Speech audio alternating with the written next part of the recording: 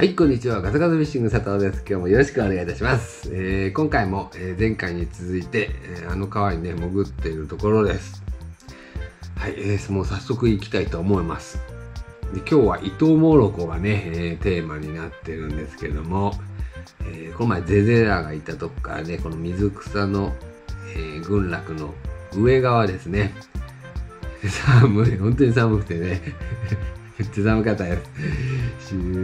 思ったよりもね、ねきつくって、えーこれも潜ってやれるかなと思ってたんですけどね。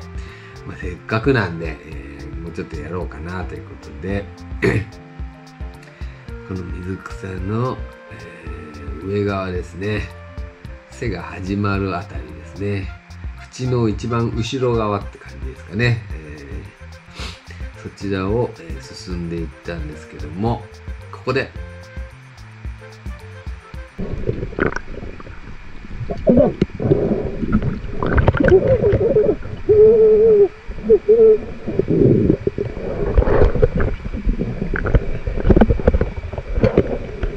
はい、今ね、やっとね、糸モロコを1匹目のね、1個体目を発見したところですね。はい、こちらがそうですね。で、まあ、及川がね、大半を占めてってる水域だったんですけども、ね、ちょっとね、石の、この縁の一番後ろ側ですね、水草の始まる背のスタートのところのね、隙間に、えー、糸モロコがいました。でま、糸モロコは、えーどちらかというと背中がね、ちょっとあの模様が、えー黒いね、点がよく入ってるんで、割とね、えー目立ちやすい魚かなと思います。でこれもね、わかるように、ちょっとね、えー金色っぽいね、えー要は金黒カラーみたいなね、えーように見えるんで、割とね、見つけやすい魚かなというのが、えー印象、えー僕の中の印象ですね。はい、でこの隙間今ね追いかけてるところなんですねあんまりね動くとねすぐどっか行っちゃうんで、ねとりあえず、まあ、行くことはいるとね特に人のあれでねここへもし来てた場合落ち着くとね本来の場所に戻るかなと思ってねちょっと追いかけ、えー動かずに、ね、目線だけでね、えー魚を今追いかけてるところでやっとね今移動し始めたところででその先にはやっぱりね及川がねたくさんいるんですけれどもその先を追ってずっとねとにかく動あんまり動かずにプレッシャーを与えないでね様子を見てるとどんどんね縁の中央に向かっていくんですけれどもそうするとちょっとね僕これ今このね編集画面がね小さくてあんまりねわかり僕本人もね分かりづらいんですけど多分もうこの辺で他の糸モロコたちとね合流してるところだと思います。この奥にね糸モロコがだんだん2匹3匹4匹とこう増えてきて、えー、糸モロコがね、えー数匹の群れを作っている様子が映っているんじゃないかなと思いますはい、でこれが僕の中では割と本来の、えー、糸モロコのよく見かけるパターンの、えーポイントかなというところですね。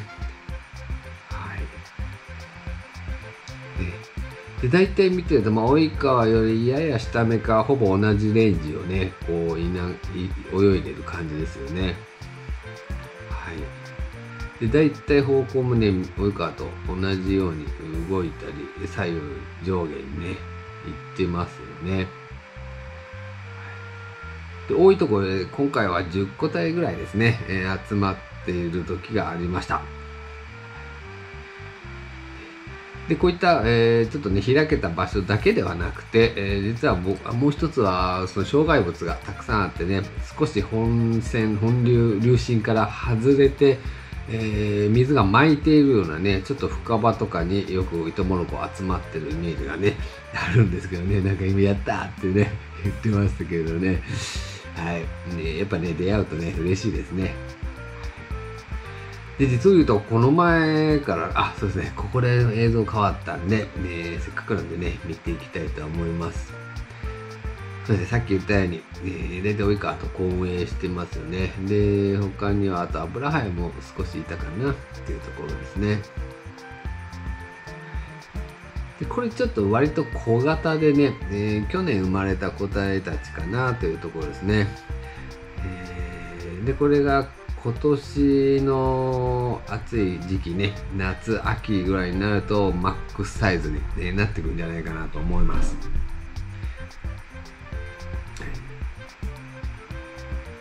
そうですね。あちょうど今正面ぐらいにいるかなってところでね吸うことありますね。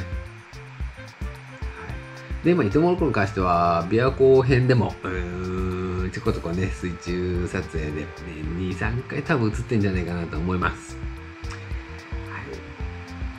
い。で、琵琶湖浦川水系ではね、割と上流域で限られた水系でしか見られないんですけども、えー、まあ、他のね、えー、瀬戸内海側に注いでる、ね、西日本の河川だと、割とね、えー、下流域ですね。特に僕の見たのはね、あの、九州の、ね、河川だと、もう海からね、えー、わずかなところでもよく見られました。この前の有明上木橋かな、笹がしてたあの河川でももうすぐ下が海なんですけども、えー、そこでもたくさんいたので、割とね、こう、生息範囲がね、こう違うんだなというところですね。で、これが持ち帰ってね、撮影だけした時なんですけども、でもうすごくね、顔が尖っているのが特徴ですね。そして頭から背びれのね、えー、規定部までが一気にこう盛り上がる感じでね、他のモノコロに比べると、えー、割とこう体高が高く感じるんですね。ね、ここはあとヒゲが非常に長いです。とにかくちょっと水入れてね、ね口元を見ると、粉炭が尖っていて、えー、スゴモロコ族の中では、一番この糞がね、長いんで、え、すぐわかるんじゃないかなと思います。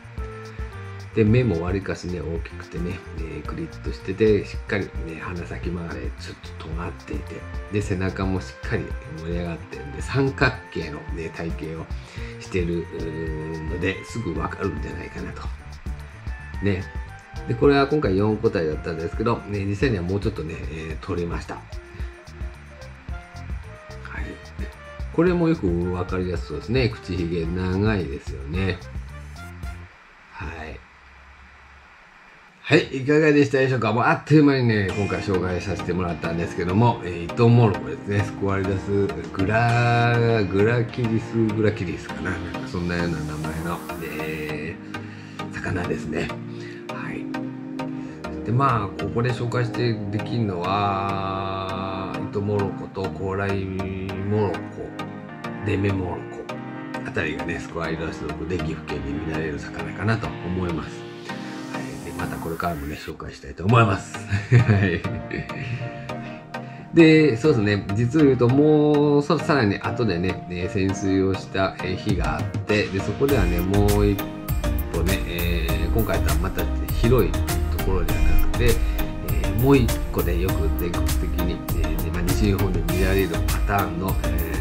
ポイントでもね見られたんでその水でも今度紹介したいと思います。はい、ということで今回は、えー、ちょっとね僕の中では渋い魚の一つでね、え